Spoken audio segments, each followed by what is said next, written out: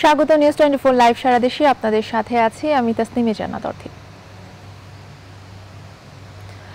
দর্শক, গাজীপুরের পাশাপাশি ঘোষিত হয়েছে রাজশাহী, সিলেট ও বরিশাল সিটি কর্পোরেশন নির্বাচন। এরই মধ্যে বড় দুই দল প্রার্থী চূড়ান্ত করেছে। এ বিষয়ে আরও কথা বলতে রাজশাহী থেকে আমাদের সঙ্গে যুক্ত হচ্ছেন সহকর্মী কাজী শাহেদ। শাহেদ, শুভ সকাল আপনাকে এবং স্বাগত জানাচ্ছি নিউজ টোয়েন্টি ফোর লাইভ সারা দেশে সিটি কর্পোরেশন নির্বাচনের বিষয়ে কথা বলার জন্য আজকে কোন অতিথি আছেন আপনার কাছে?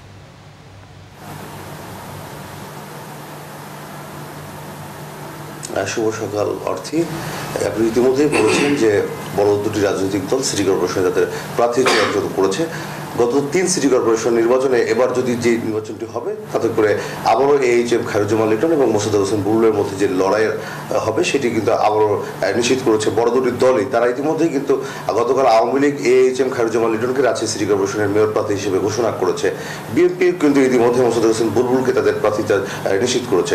ফলে কিন্তু আবারও যে লিটন এবং বুলবুলের যে লড়াইটি হবে সেটি বলা যেতেই পারে।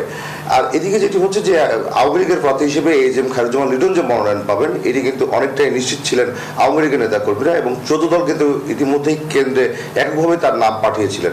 ফলে তাদের প্রত্যাশিত যে মনোনয়ন, সেটি কিন্তু আওয়ামী লীগের নেতা কর্মীরা পেয়েছে রাজশাহীতে এবং তারা আগে থেকেই কাজও শুরু করেছিলেন। তো এই নিয়ে আমরা কথা বলতে চাই, আজ আমাদের সঙ্গে স্টুডিওতে যোগ দিয়েছেন জেলা আওয়ামী লীগের যুগ্ম সাধারণ সম্পাদক লাইবুদ্দিন লাবলু। লাইবুদ্দিন লাবলু, আপনাকে স্বাগত জানাই। শুরুতেই আপনাকে আপনার দলের আজকে উনসত্তরতম প্রতিষ্ঠাবার্ষিকী আপনাকে অভিনন্দন জানাই। বাংলাদেশের সবচেয়ে প্রাচীনতম দল আওয়ামী লীগের আজকে প্রতিষ্ঠাবার্ষিকী সেই সঙ্গে রাজশাহী সিটি কর্পোরেশন নির্বাচন, সেই নির্বাচনে আওয়ামী লীগ এবার মনোনয়ন দিয়েছে এইচ এম খায়রুজ্জামান লিটনকে। তিনি গত দুই নির্বাচনে প্রার্থী ছিলেন। এই মনোনয়নটিকে আপনি কীভাবে দেখেন? ধন্যবাদ শাহেদ আপনার মাধ্যমে এই সমসাময়িক কালের জনপ্রিয় TV news twenty four channel এটি সারা দেশে না, সারা পৃথিবীতে ইতিমধ্যে তাদের নিজেদের অবস্থানকে সুসংগত করতে পেরেছে। আপনার এবং এই নিউজ টোয়েন্টি ফোর চ্যানেলের মাধ্যমে অগণিত দর্শক শ্রোতাদের ধন্যবাদ।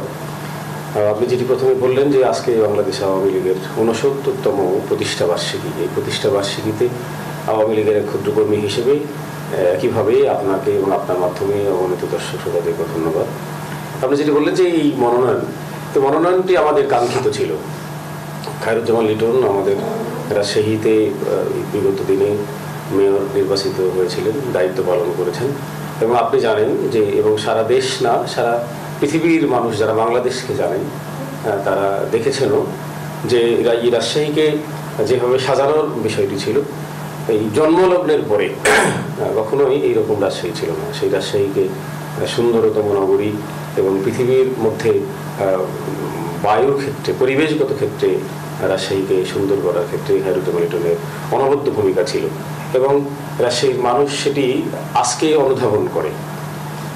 তার দায়িত্ব পালনের পরেই দ্বিতীয় টার্মে যে নির্বাচনটি হলো, সেই নির্বাচনে তার পরাজয়ের পরেই রাজশাহীর মানুষ সেটি অনুধাবন করেছে। আপনি জানেন, রাজশাহী উত্তরাঞ্চলের এক বিভাগীয় শহর এবং এই শহরটি আপনি জানেন যে এখানে শিক্ষানগরী। রাজশাহী বিশ্ববিদ্যালয়ের মতো বিদ্যাপীঠ, এটি অনেক প্রাচীন বিদ্যাপীঠ রাজশাহীতে ইঞ্জিনিয়ারিং ইঞ্জিনিয়ারিং ইউনিভার্সিটি প্রতিষ্ঠা হয়েছে। ইতিমধ্যেই রাজশাহী মেডিকেল বিশ্ববিদ্যালয় প্রতিষ্ঠার কার্যক্রম শুরু হয়েছে। এভাবে দিয়ে Rajshahi medical college, Rajshahi college আরও অনেক শিক্ষানগরী। এই শিক্ষানগরীতে বাংলাদেশের না, বাইরের রাষ্ট্রের শিক্ষার্থীরা এখানে পড়ালেখা করতে আসে। সেক্ষেত্রে রাজশাহীতে খায়রুজ্জামান লিটন আওয়ামী লীগের নেতা তো বটেই। উনি জাতীয় নেতা, জাতীয় নেতার সন্তান জাতির জনক, ইতিহাসের এক ক্ষণজন্ম মহাপুরুষ বঙ্গবন্ধু শেখ মুজিবের রাজনৈতিক জীবনের সহচর। এবং মৃত্যু পর্যন্ত তিনি বঙ্গবন্ধুর সাথে থেকেই তার অনবদ্য যে রাজনৈতিক ভূমিকা সেটি প্রমাণ করেছেন, একইভাবে রক্তের এবং রাজনীতির আদর্শের ধারাবাহিকতায় খায়রুজ্জামান লিটন, বঙ্গবন্ধু কন্যা আজকে দেশরত্ন মাননীয় প্রধানমন্ত্রী শেখ হাসিনা সারা পৃথিবীতে তারও অবস্থানকে সুসংগত করেছেন বাংলাদেশকে মনোনয়নটি তো আপনারা বলছেন যে এটি প্রত্যাশিত মনোনয়ন ছিল। তো আমরা যদি একটু অতীতে ফিরে যেতে চাই সেটা হলো যে গত নির্বাচনে যখন এইচ এম খারজুমাল প্রার্থী ছিলেন তখন তিনি পরাজিত হয়েছেন। এত উন্নয়ন করার পরেও। এর পেছনের কারণগুলি কি মনে করেন আপনি? শুধুই কি জামাত বিএনপির অপপ্রচার না অন্য কিছু ছিল? হ্যাঁ বাংলাদেশের ক্ষেত্রে এবং আমাদের রাজশাহীর ক্ষেত্রে আমরা যদি মূল্যায়ন করি তাহলে এরকম আরও রাজশাহীর ক্ষেত্রে শুধু না, বাংলাদেশের রাজনীতির ক্ষেত্রে দেখা গেছে যে শুধু উন্নয়ন দেখে অনেক সময় মানুষ ভোট দেয় না। এখানে লিডারশিপের বিষয়টি দেখে এবং মানুষ অতি তাড়াতাড়ি ভুলে যায়, একটু পরিবর্তন দেখতে চায়। তো সেই ক্ষেত্রে আমাদের কাছে মনে হয়েছে যে শুধু হয়তো পরিবর্তনের বিষয়, অথবা আওয়ামী লীগের লিটন খায়রুজ্জামান লিটন, মেয়র লিটনকে তো আমরা দেখলাম, একটা পরিবর্তন যদি দেখি। এই ধারাবাহিকতায় বা এই চিন্তা চেতনা থেকে হয়তো রাজশাহীর মানুষ এরকম একটি জায়গায় গিয়েছিল। তো অতি দ্রুতই আমার মনে হয় যে এই জায়গাটিতে রাজশাহীর মানুষ নেই। তাহলে এই যে আপনারা বলছেন যে সেই জায়গায় মানুষ নেই তাহলে এইবার কেন খায়রুজ্জামান লিটনকে মানুষ ভোট দিবে? আপনার দলের পক্ষ থেকে আপনারা তো ভোট চাইবেনই কেন দিবে? আপনার কি মনে হয়? এক্ষেত্রে আমার যদি মনে হয় যে বিগত দিনে হারুজ্জামান লিটন প্রথম মেয়র থাকার পরে শেষে এরকমটি কিছু কিছু ক্ষেত্রে হয়েছিল যে দলের নেতাকর্মীরাও খায়রুজ্জামান লিটন মেয়র থাকার পরে অনেকে তো মনে করেছেন যে আমার সালামের উত্তর দেয়নি, কেউ মনে করেছেন। হয়তো মনে করেছেন যে আমার যে আকাঙ্ক্ষা ছিল, আমি লিটন ভাইয়ের আজীবন কর্মী ছিলাম, সে আমাকে মূল্যায়ন করল। এরকম দলের মধ্যে কিছু কষ্ট ছিল। আজকে সেই কষ্টটি নেই।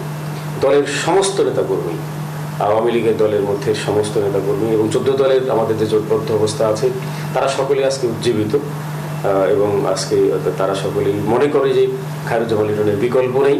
এবং রাজশাহীর আমি যেটি বললাম যে শিক্ষানগরী, এখানে আওয়ামী লীগের বাইরেও অসংখ্য মানুষ আছেন যারা রাজশাহীর চিন্তা করেন, উন্নয়নের চিন্তা করেন আদর্শিক রাজনীতির চিন্তা করেন এবং রাজনীতির এটি সহমর্মিতা, পারস্পরিক ধারাবাহিকতার কথা চিন্তা করেন।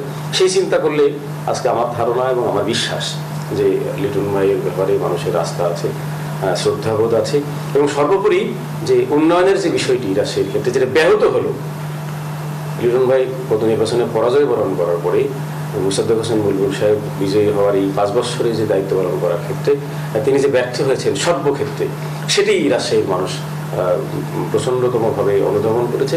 এবং আমাদের বিশ্বাস যে এই অনুধাবন থেকেও রাজশাহীর মানুষ আপনি বলছিলেন যে এই পাঁচ বছরে বা সাড়ে চার বছরে উন্নয়ন ব্যাহত হয়েছে। বর্তমান যিনি মেয়র তিনি অভিযোগ করেছেন সরকারের কাছ থেকে তেমন সহযোগিতা পাওয়া যায়নি। সরকার মামলা দিয়ে তাকে দায়িত্ব পালন করতে দেয়নি। এই সিম্পেথি তো কাজ করবে নির্বাচনে সরকার মামলা দিয়ে দায়িত্ব পালন করতে দেয়নি এই এই কথাটি সত্য নয়। সরকার আর অন্যান্য সিটি কর্পোরেশন যেভাবে দেখার চেষ্টা করেছেন রাজশাহীকে সেই মাতাসুলভ আচরণ করার চেষ্টা করেননি। সরকার চেয়েছেন যে তারা যেন দায়িত্ব পালন করতে পারে, মানুষ যেন রাষ্ট্রীয় সুবিধা থেকে বঞ্চিত না হয়, সেটি আওয়ামী লীগ করেছে, আওয়ামী লীগের সরকার প্রধান করার চেষ্টা করেছেন। এখন মুসাদ্দেক হোসেন বলবেন, উনি বিএনপির সরাসরি সক্রিয় কর্মী বা নেতা। তিনি তো অনেক নাশকতার সাথে উনি সম্পৃক্ত ছিলেন।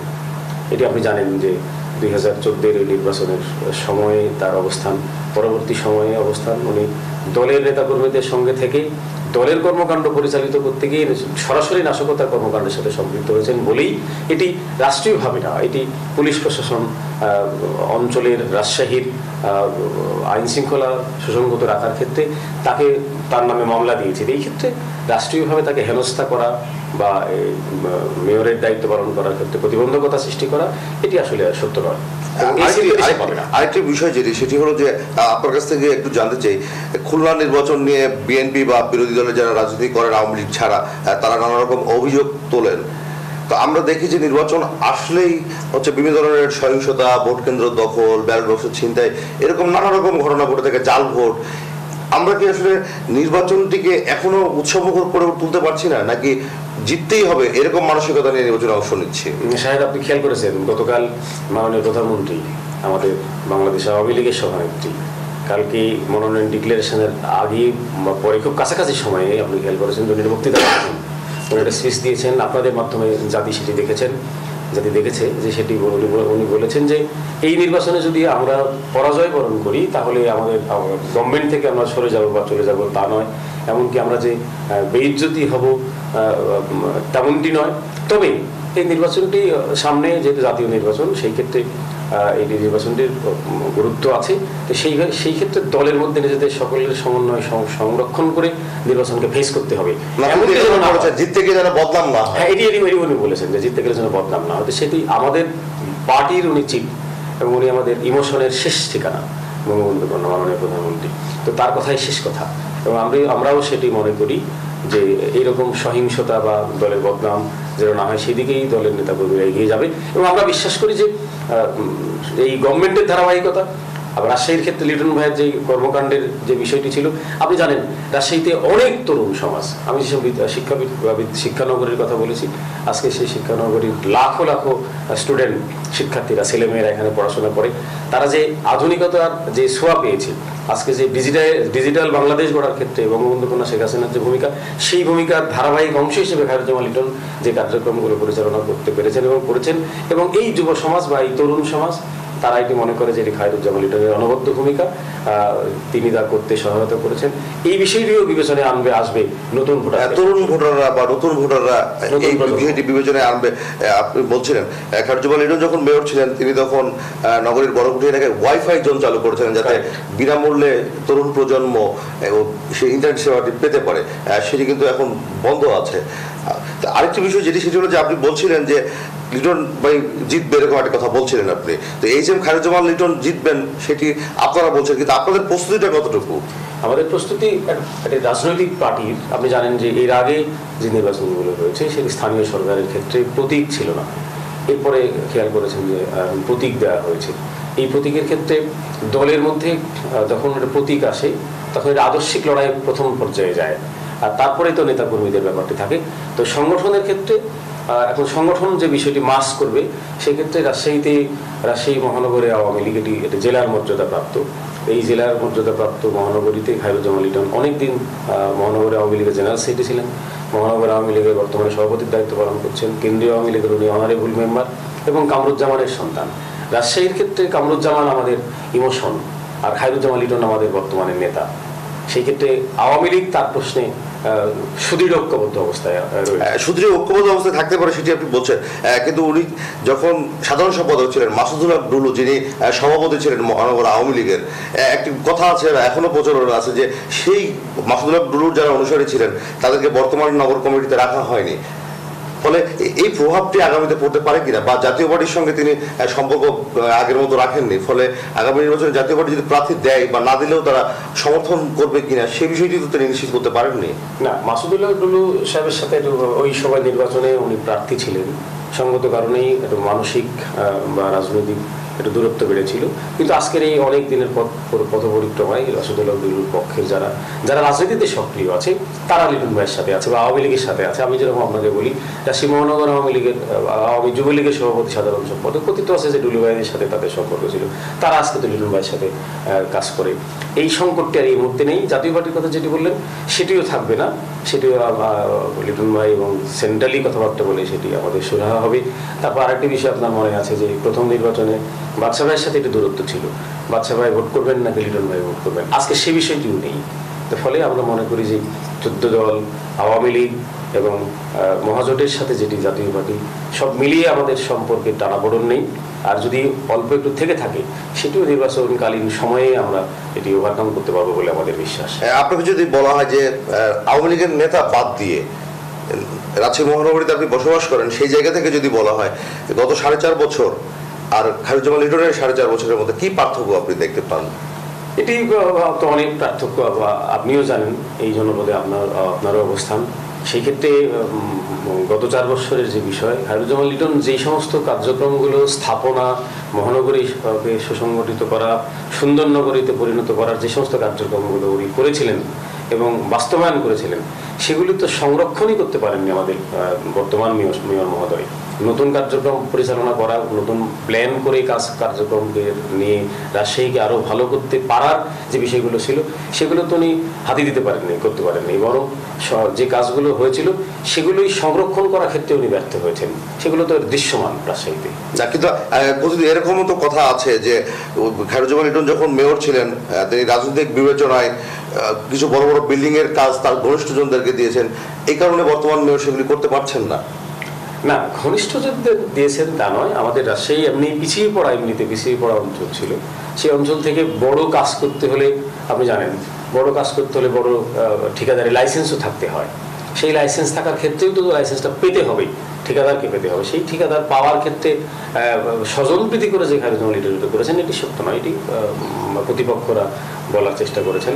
উনি যথার্থ মানুষের হাতে দেওয়ারই কাজটা করে, করা, তুলে চেষ্টা করেছেন, হয়তো তখন ব্যর্থ হয়েছেন সেই ঠিকাদার। এটি সত্য নয়। আর লিটন সাহেবের ক্ষেত্রে আমি আবারও বলছি যে আজকে উনি পরিপক্ষ নেতৃত্ব এবং রাজশাহীতে রাজনীতির দলীয় আমরা যদি বলি, দলীয় সংকীর্ণতার কথা যদি বলি অনেক ক্ষেত্রেই দলীয় সংকীর্ণতার ঊর্ধ্বেও খায়রুজ্জামান লিটনের পদচারণা রয়েছে।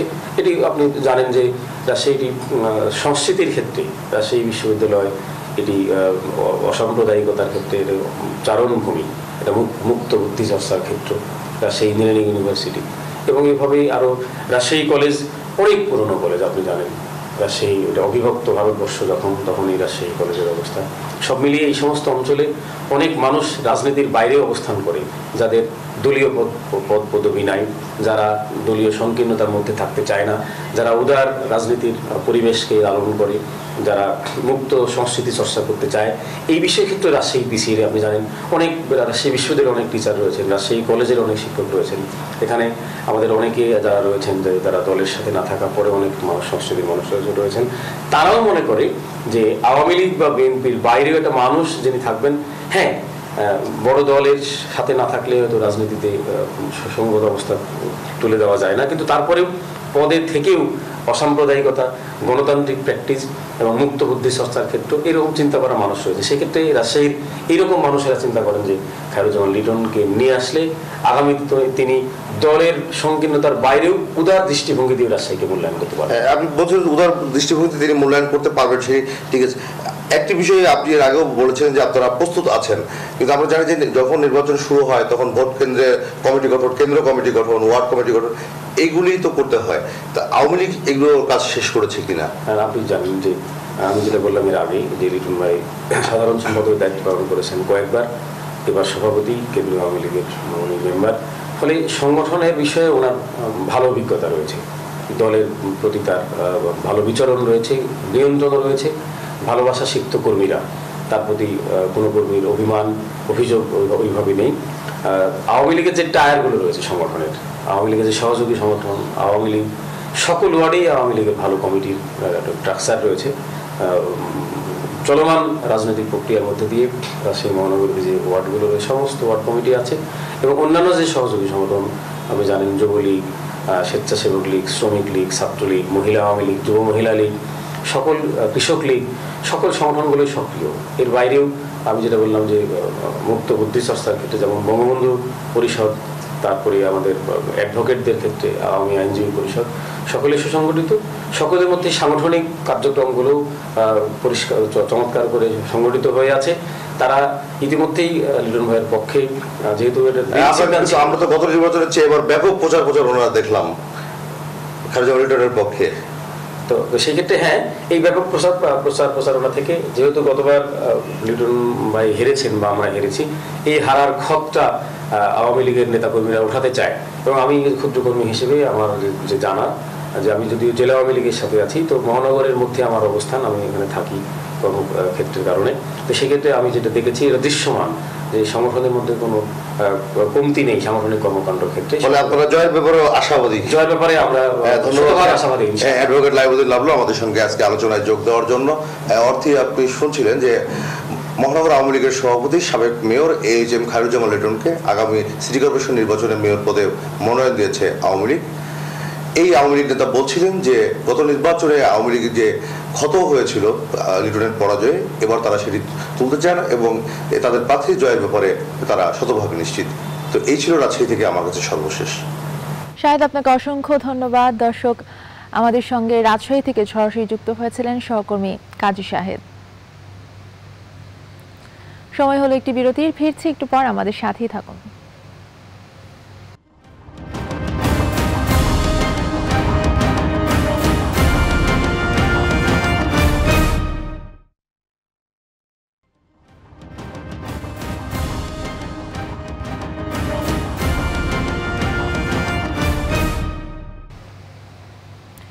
বিরতির পরে আবারও স্বাগত জানাচ্ছি নিউজ টোয়েন্টি ফোর লাইভ সারা দেশে। দর্শক, নদী দূষণ এখন একটি বড় সমস্যায় রূপ নিয়েছে। দিন দিন কমে যাচ্ছে মাছের প্রজনন ক্ষমতা। বাংলাদেশে মৎস্য প্রজননের জন্য হালদা নদী অন্যতম। এরই মধ্যে দূষিত হচ্ছে হালদা নদী, মরতে শুরু করেছে মাছ।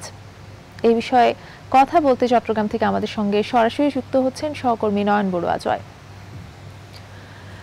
জয়, শুভ সকাল আপনাকে। এই নদী দূষণের বিষয়ে কথা বলতে আজকে কোন অতিথি আছেন আপনার সাথে?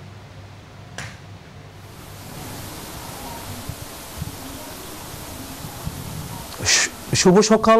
অতি, আপনি যেমনটা শুরুতে বলেছিলেন আসলে, চট্টগ্রামের হালদা নদী আবারও দূষণ হচ্ছে। কিন্তু আমরা যদি বলি দেশের দেশের একমাত্র মৎস্য, প্রাকৃতিক মৎস্য প্রজনন ক্ষেত্র হালদা নদী কিন্তু দেখা যাচ্ছে বারবারই কিন্তু আসলে দূষণ হচ্ছে। কিন্তু হালদা পারে যে বিভিন্নভাবে গড়ে ওঠা যে কারখানা রয়েছে, মিল কারখানা রয়েছে সেই কারখানার বর্জ্যের বর্জ্যের পানির কারণেই কিন্তু আসলে হালদা নদী দূষণ হচ্ছে। কিন্তু আমরা দেখেছি আসলে যদি, আমরা যদি আপনাকে এক সপ্তাহের কথা যদি আমরা বলি, কিন্তু আসলে যে বন্যার পানির সাথে হালদা নদীর পানি একাকার হয়ে যাওয়ার পরে যখন পানি নামা শুরু করছে, তখন দেখা যাচ্ছে কিন্তু আসলে অতি এখন কিন্তু যে হালদা নদীর দূষণ দূষণের আকার কিন্তু অনেকটা বেড়ে যাচ্ছে। এমনকি এমনকি আমরা যদি হালদা নদীর কথা যদি আপনাকে বলি, এখন হালদা নদীতে বাসছে কিন্তু বিভিন্ন ধরনের মাছ।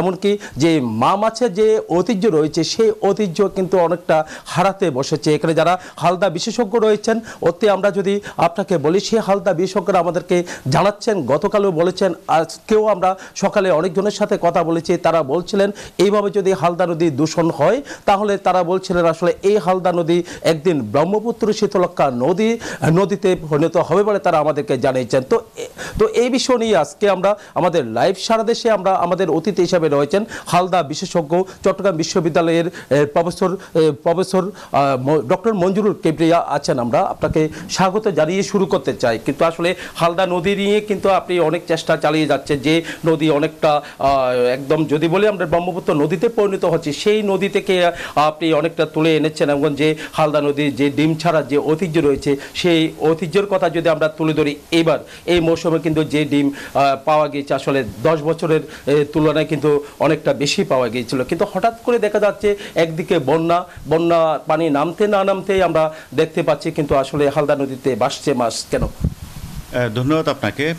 আসলে আপনি যথার্থই বলেছেন, এবার বিগত বারো বছরের মধ্যে সবচেয়ে বেশি ডিম সংগ্রহিত হয়েছে। প্রায় বাইশ হাজার ছয়শো আশি কেজি ডিম সংগ্রহ করা হয়েছে। এটা আসলে আমাদের সবার সম্মিলিত প্রচেষ্টার ফসল এবং সরকারও এগিয়ে আসছে এবং সবার একটা যারা হালদা নিয়ে চিন্তা করে, যারা পরিবেশ কর্মীতে সবার সম্মিলিত প্রচেষ্টায় এটা সম্ভব হয়েছিল। কিন্তু আমরা এই যে একটা উৎসব, এটা বিগত কয়েক এপ্রিল থেকে হালদাপাড়ে একটা উৎসব চলছিল এবং সবার মধ্যে একটা আনন্দ এবং যারা ডিম সংগ্রহকারী আছে, যারা এইগুলোর সাথে সম্পর্কিত যারা স্টেক হোল্ডার, তাদের মধ্যে একটা উৎসবের জোয়ার চলছিল পুরো হালদা জুড়ে। কিন্তু হঠাৎ করে এই যে গত কয়েকদিন আগে ব- বৃষ্টি হলো এবং যে বন্যা হলো, এই বন্যার পরে তাদের কিন্তু সেই আবার সেই আগের যে শোকের ছায়া নেমে আসছে। আপনি জানেন হালদার পাড়ে যে সমস্ত পুকুরগুলো ছিল, যারা মৎস্য চাষি ছিল, তাদের সমস্ত পোনাগুলো কিন্তু পুকুর বেশে চলে আসছে, সব বেরিয়ে গেছে। এবং আর হালদার, একটা বিষয় আমাদের গত মাসের সাতাশ তারিখ মৎস্য প্রাণী সম্পদ মন্ত্রণালয়ে একটা মিটিং হয়েছিল। এটা হচ্ছে হালদা রিভার টাস্ক ফোর্স। এটা নতুন করে এই কমিটির এই কমিটিটা গঠন করা হয়েছে। বিশেষ করে হালদার জন্য সরকার গুরুত্ব দিয়ে এই কমিটিটা গঠন করেছে। ওইখানেও আমি সবচেয়ে বেশি গুরুত্ব দিয়েছিলাম এই হালদার পলিউশনটা নিয়ে। এবং এর আগে মাননীয় প্রধানমন্ত্রীর কার্যালয়ে একটা মিটিং হয়েছিল একুশে জানুয়ারি। সেক্ষেত্রেও আমরা, আমি সবচেয়ে বেশি গুরুত্ব দিয়েছিলাম হালদার পলিউশন নিয়ে। এবং আপনারা জানেন, বিগত দুই তিন বছর ধরে আমরা হালদার সবচেয়ে রাবার ড্যামের পরে, এই মুহূর্তে হালদার সবচেয়ে বড় সমস্যা যেটা, সেটা আমরা পলিউশন এই যে দূষণের বিষয়টাকে আমরা সবচেয়ে বেশি প্রায়োরিটি দিয়েছি। এবং যেটা বলেছি এখন সেটা আসলে সত্যি প্রমাণিত হলো।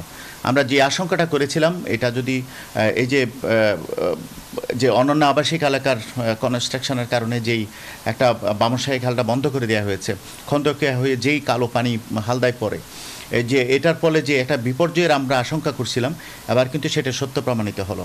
কারণ এটা এবার জানেন আপনি, খুব ভারী বৃষ্টি হয়েছে বিগত এক সপ্তাহ আগে, এবং এই ভারী বৃষ্টি হওয়ার কারণে এবার হাঁটাজারি ফটিকছড়ি এবং রাউজান এলাকায় মানে এই বিগত কয়েক বছরের মধ্যে সবচেয়ে বেশি বন্যা হয়েছে।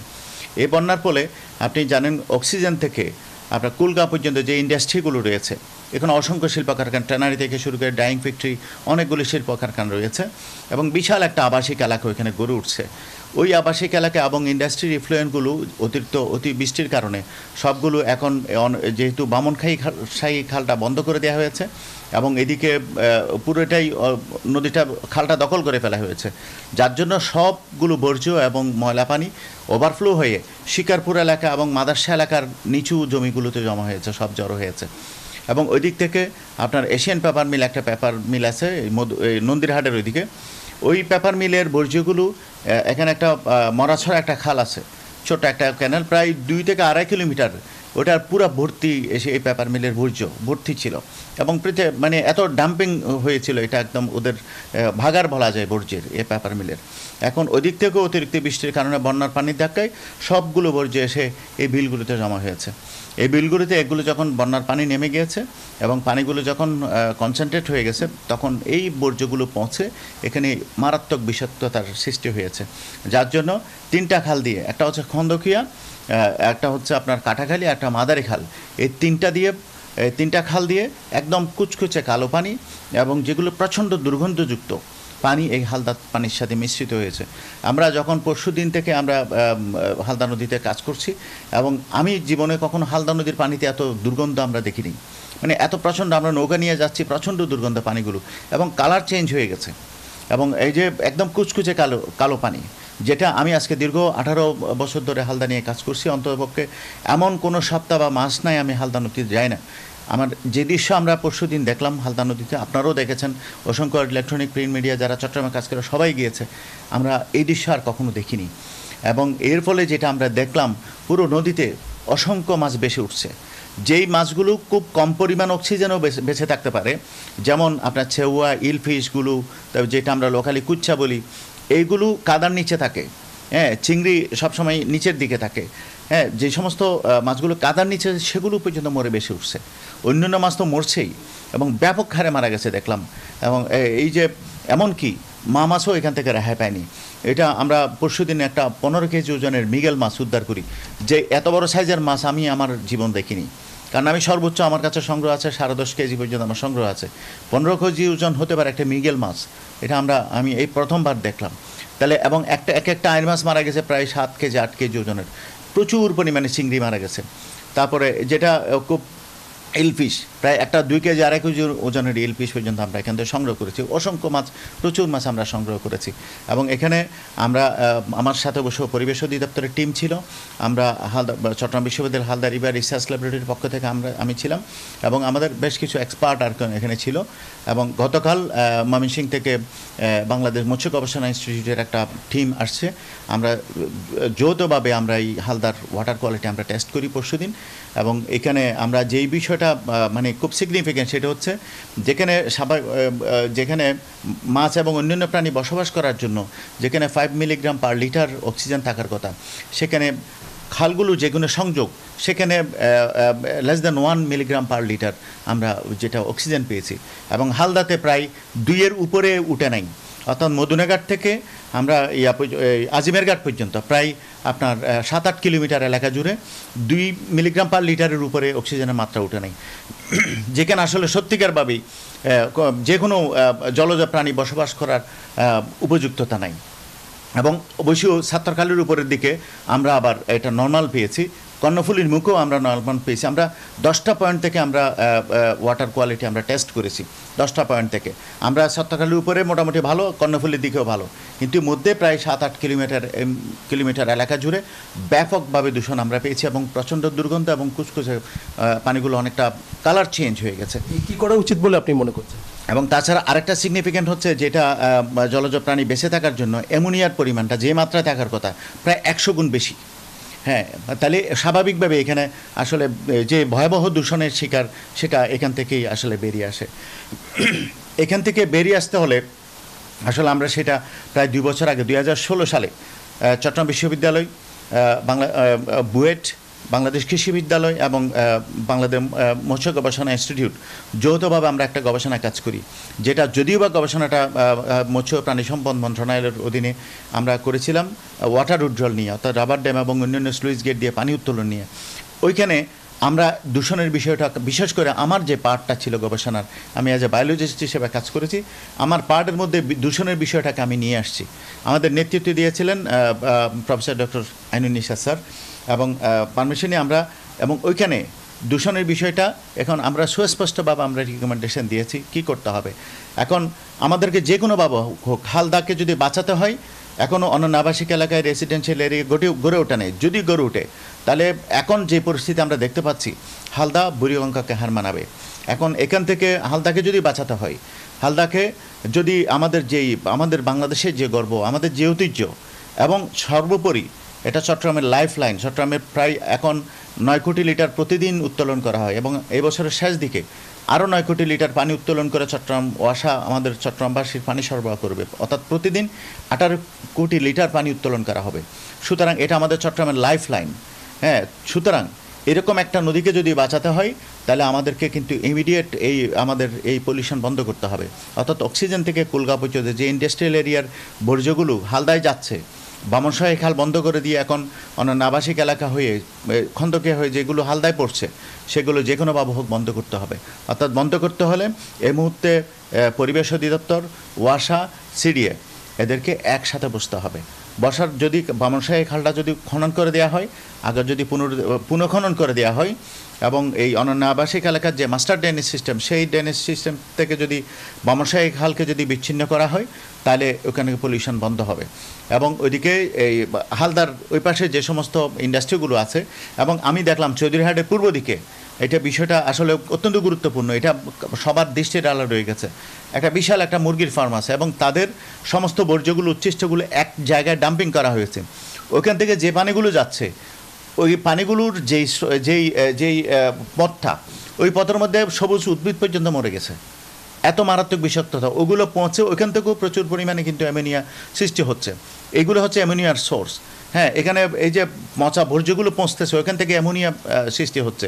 যার জন্য ওখানে সমস্ত জীববৈচিত্র্য কিন্তু এখানে ধ্বংস হয়ে গেছে।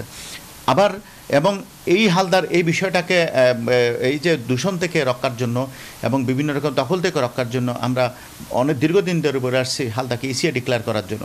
যেটা মাননীয় প্রধানমন্ত্রীর কার্যালয় থেকে সিদ্ধান্ত হয়েছে এটা আহ, হালদাকে ইসিএ ডিক্লেয়ার করা হবে এবং পরিবেশ অধিদপ্তর মোটামুটি আমার আমি যতটুকু জানি এটা একটা চূড়ান্ত পর্যায়ে আছে।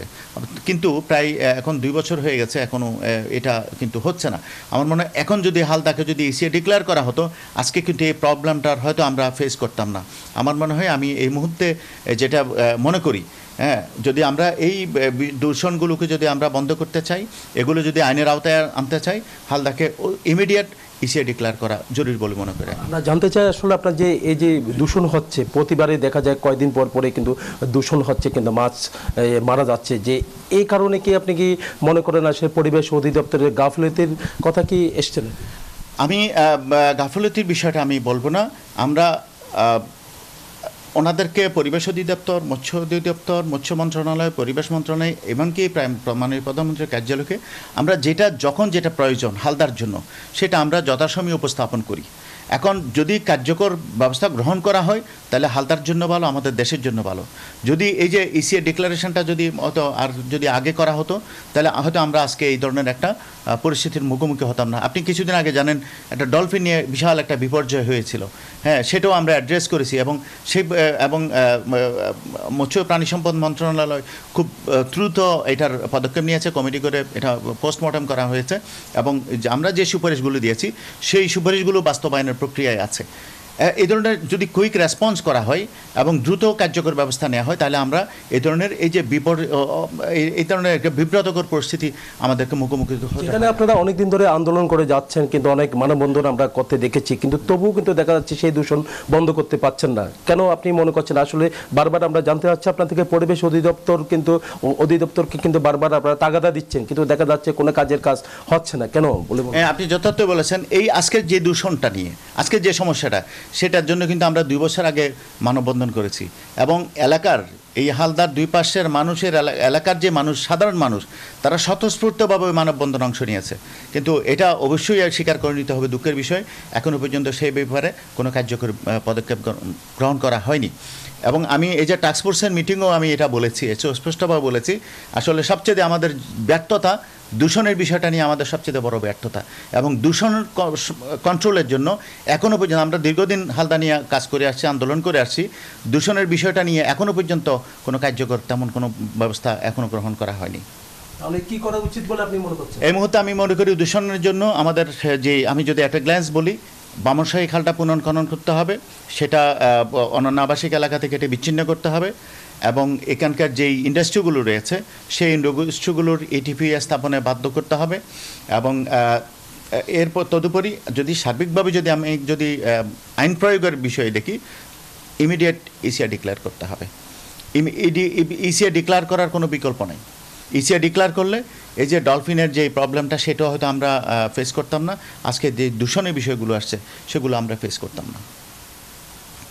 কথা বলতে বলতে আমাদের আসলে সময়টা অনেকটা শেষ পর্যায়ে এসেছে। আমরা জানতে চাই এখন নদী ভাঙন নিয়ে আমরা একটু কথা বলি। যে হালদা নদীর পাড়ে অনেক বসবাসকারী রয়েছেন তো কোনো অনেক জায়গায় কিন্তু দেখা যাচ্ছে কি নদী ভাঙন হচ্ছে। আসলে নদী ভাঙন রোধ করতে কি করা উচিত বলে মনে করছেন? আহ, নদী ভাঙ্গনের বিষয়টাও হালদান নদী ভাঙবে নদীর মধ্যে নদী যে লাইফ নদী যে জীবিত সেটার একটা বৈশিষ্ট্য নদী ভাঙব হ্যাঁ নদী যদি অ্যাক্টিভ থাকে, নদী ভাঙবে। এটা একটা নদীর বৈশিষ্ট্য, অন্যতম বৈশিষ্ট্য। হ্যাঁ এরপরে যেহেতু আমাদের, আমরা মানুষ বসবাস করে, আমাদের বাড়িঘর সয় বিভিন্ন সম্পত্তি থাকে, সে এগুলো রক্ষা করা দায়িত্ব।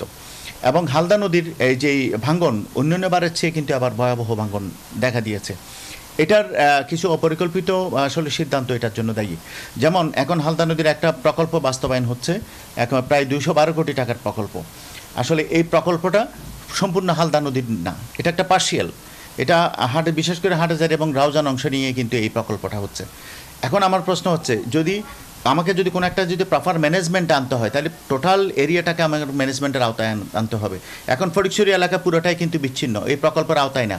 এখন এখানে যদি আপনি যত বেরিবাদ এবং শত শত কোটি টাকা খরচ করেন না কেন, যদি ওভারফ্লো হয় ওদিক দিয়ে পানিটা ফটিকছড়ি এলাকায় ওভারফ্লো দিয়ে বাঁধের ভিতর থেকে কিন্তু বাঁধকে ভেঙে ফেলবে। এবং এই বছর তাই করছে। হ্যাঁ আমার মনে হয় যদি টোটাল প্ল্যানটা যদি হালদা নদীকে নিয়ে করা হতো, তাহলে কিন্তু এই ধরনের সমস্যাই হতো না। আমি এখনও বলব, বিচ্ছিন্নভাবে না, বা বিচ্ছিন্নভাবে পরিকল্পনা গ্রহণ না করে সেটা হালদার ভাঙনের জন্য হোক, হালদার মৎস্য প্রজনন ক্ষেত্র রক্ষার জন্য হোক, হালদার পানি রক্ষার জন্য হোক, কোনো বিচ্ছিন্ন এলাকাকে কোনো নির্দিষ্ট এলাকাকে কেন্দ্র করে বিচ্ছিন্ন পাবে না। টোটাল হালদাকে নিয়েই হালদার আসলে পরিকল্পনা করতে হবে। তাইলে হালদার মানুষ বাঁচবে, হালদা বাঁচবে এবং হালদার দুই পারের জনগণ যারা, তারা নিরাপদ থাকবে। অসংখ্য ধন্যবাদ। আসলে অতি আমরা এতক্ষণ ধরে কথা বলেছি যে হালদা বিশেষজ্ঞের সাথে তিনি বলছিলেন, হালদা নদী যেন কোনোভাবে যেন বুড়িগঙ্গা নদীতে নদীর সাথে কিন্তু হার মানার যে কথা তিনি বলেছিলেন, আসলে সেই নদী যেন না হয়। তিনি বলছিলেন, হালদাকে বাঁচাতে হলে সবার কিন্তু এখনও সময় রয়েছে। তিনি বলছিলেন, আসলে হালদা নদীকে বাঁচাতে হলে কিন্তু সবারই। এখন থেকে কিন্তু আসলে উদ্যোগ নেওয়া দরকার বলে তিনি বলছিলেন। এমনকি দূষণের কথা তিনি আমাদেরকে জানিয়েছিলেন। দূষণ রোধ করতে হলে কিন্তু সচেতনতা যেমনটা রয়েছে, তেমনটা রয়েছে। আসলে সরকারি যে প্রতিষ্ঠানগুলো রয়েছে, তাদেরও কিন্তু একটা উদ্যোগ, এমনকি তদারকি তদারকি দরকার বলে তিনি আমাদেরকে জানিয়েছেন। তো এ ছিল আমার এখানকার সর্বশেষ। আমি ফিরে যাচ্ছি আমাদের মূল স্টুডিওতে। অতি। জয় আপনাকে অসংখ্য ধন্যবাদ। দর্শক, চট্টগ্রাম থেকে আমাদের সঙ্গে সরাসরি যুক্ত হয়েছিলেন সহকর্মী নয়ন বড়ুয়া জয় এবং কথা বলছিলেন নদী দূষণ নিয়ে। সময় হলো আরও একটি বিরতির আমাদের সাথেই থাকুন।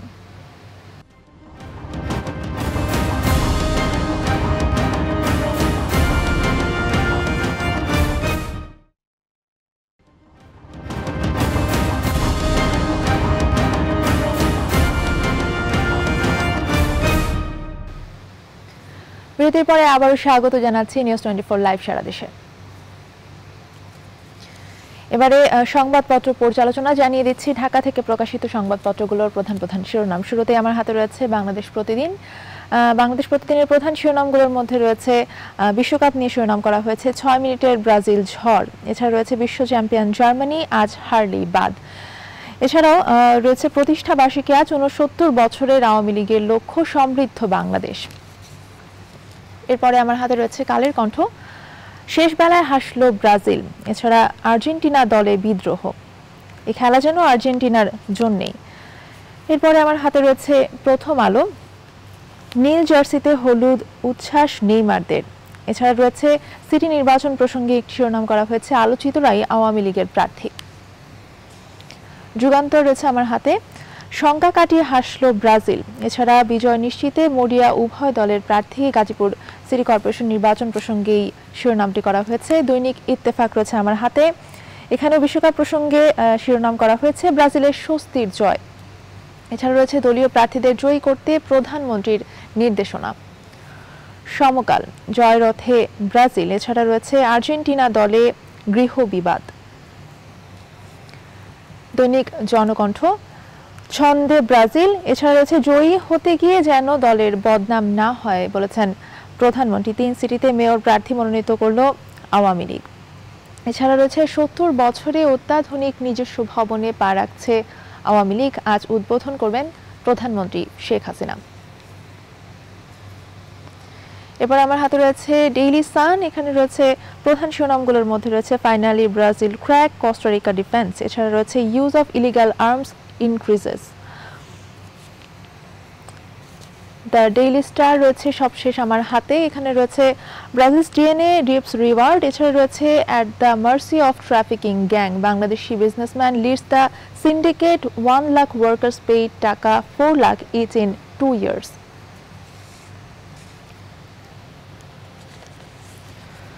দর্শক, এই ছিল ঢাকা থেকে প্রকাশিত সংবাদপত্রগুলোর প্রধান প্রধান শিরোনাম। এই ছিল নিউজ টোয়েন্টি ফোর লাইভ সারা দেশের এখনকার আয়োজন। এতক্ষণ সাথে থাকার জন্য সবাইকে ধন্যবাদ।